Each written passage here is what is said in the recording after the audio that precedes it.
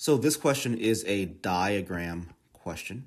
I call any question that provides visual input, I call it a diagram question. Um, so the rule with diagram questions is that we label that diagram with any given information and then also see if there's any other relevant information that we may use in our labeling that help us get to the correct answer. So let's start reading this and see how we can label the diagram.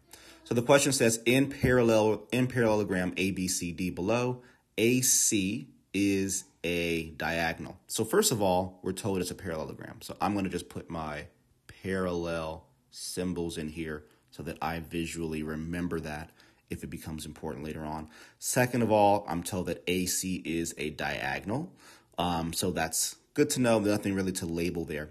The measure of angle ABC is 40, so we see that here. We see the 40 there. And the measure of angle ACD is 57, so we also see that measured there. Uh, what is the measure of angle CAD? So we also see that with the question mark here. So the only bit of information that's been provided here that we haven't really been able to extract more information from as of yet is the fact that this is a parallelogram and this diagonal. So let's think about parallelograms, right? So parallelogram has opposite sides that are parallel, but on this test, anytime I see two lines that are parallel, I should think about my parallel line and transversal angle relationships like alternate interior, same side interior. Let's give you some examples, right? So if I have two parallel lines and a transversal that goes through like this, then I know that these two angles are same side interior and they are um, supplementary. I would know that, let's see, erase or use a different color. I would know that these two angles are equal to each other because they're vertical, which really has nothing to do with parallel lines, but you know that may be useful to know. I would know that these two angles here are congruent because of alternate interior angles. I would also know that this angle here and this angle here are congruent because of corresponding angles. So what I want to look for in this parallelogram is do I have any angle relationships that I should be aware of? And it looks like I do. So using red, if I look at this parallel line and this parallel line, and I say, well, I have this angle here, oh, and this transversal, right? Then this angle here and this total angle here should be equal to 180, right? These are same side interior angles. So if I call this x, I can say, well, 40 plus 57 plus x must be equal to 180 because those two angles are supplementary. So I'd have 97 plus x equals 180. Subtract 97 from both sides and go to my calculator just to make sure that I'm doing my math correctly. So 180 minus 97 is 83, so I get x equals 83. And now I know, and just to erase this so we can see it clearly, now I know that this is 83. Now, how is that useful for me? Well, if I then focus my attention on these parallel lines, right? So I have this parallel to this. Is that going to help me at all?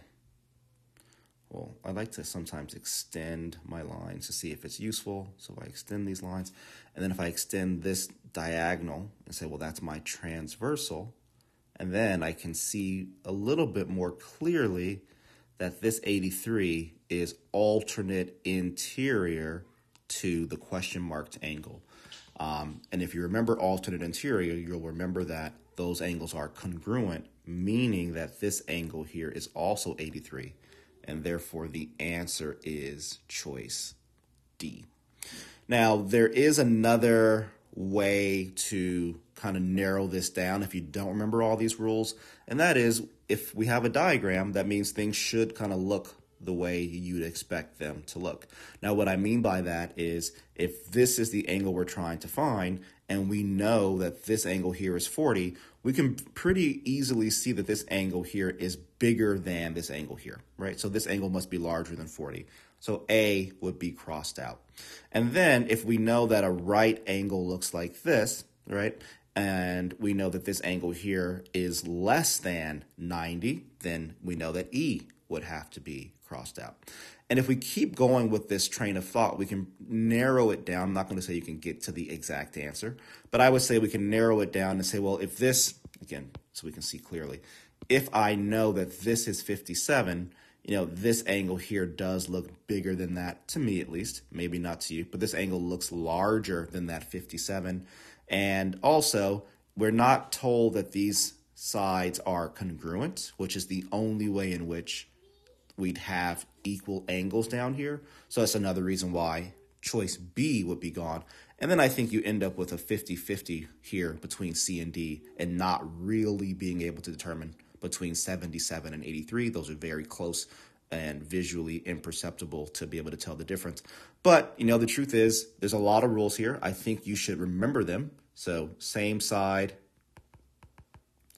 interior, right? So this is for your review, same side interior, corresponding angles, and alternate interior angles are the um, the most common types of angles that we're going to see when it comes to parallel lines, right? So if you don't know that, we use this kind of eyeball test method and at least narrow it down and hope for the best out of those out of those two if you do know these, then we just use the math that you saw earlier in the video.